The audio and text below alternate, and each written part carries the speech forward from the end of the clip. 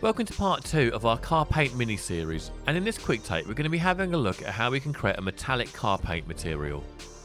Now just as a primer, if you haven't watched part 1 then I would recommend watching that first as some of the techniques mentioned in this part 2 we skip over as we've already covered them in part 1. So for a metallic car paint we need our metallic base material and for this we use a Lama conductor node and again as in part 1 the base colour is driven by a mask and a Pixar mix node is used to drive the two colours of our base paint. The result of this Pixar mix is then connected to the tint colour of our Lama conductor node.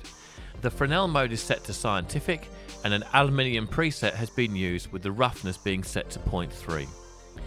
And the next thing we need to do is create the paint flakes that give us that sparkle in our metallic car paint. Let's have a look at how you can use the Pixar Flakes technique by dropping in a Pixar Flakes node. And to start to see the result, we need to connect the result N output into the normal input of our Lama conductor node. And this is how it looks, and you can see now that we're starting to get our metallic paint. Feel free to adjust the parameters of the Pixar Flakes node to suit your desired look and also your scene scale. As we know from part 1, we now need to add a clear coat layer over the top of our base.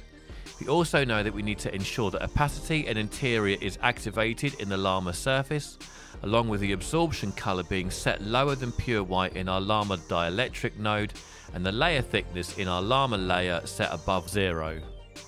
With all that done, this is our final metallic car paint.